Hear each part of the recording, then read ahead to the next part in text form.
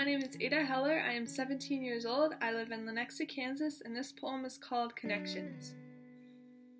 I know that when I die, I'll sink into the soil, be eaten by all the things I've eaten, become the dirt for all to walk upon. I know that my thoughts are just neurons firing, that my heart is a collection of molecules that happen to beat, but sometimes I look into the sky and wonder how the sun manages to hit everything just right.